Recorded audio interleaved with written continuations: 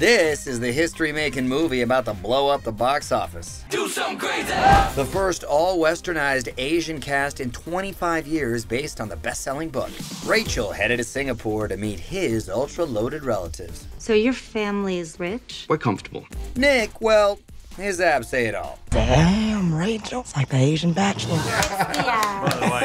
They're at home resting at the moment. Henry Golding, who's making his big screen debut, not shy about showing off his body with real life wife Liv, he actually cut short their South African honeymoon to do a screen test for the film. You really should have told me that you're like the Prince William of Asia. That's ridiculous. Much more of a Harry. The 31 year old, born in Malaysia, made a name for himself in Singapore hosting travel shows. With co stars Constance Wu and Gemma Chan, insists he's ready for worldwide fame. In this movie, we've just mentioned that everybody swoons over you. Are you ready for that? Because now this is going to happen to you in the real life. You know that, right? Uh, yeah, you know, the, the girls have been. Um... I feel like you're used to that. He's like, you know, like the Like girls. this is his whole life, you know? Constance, already famous for shows like her hit ABC series Fresh Off the Boat.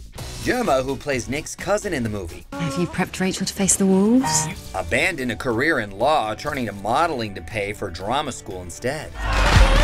Crazy Rich Asians in theaters now. One more extra? Hit the subscribe button and the bell and never miss a video.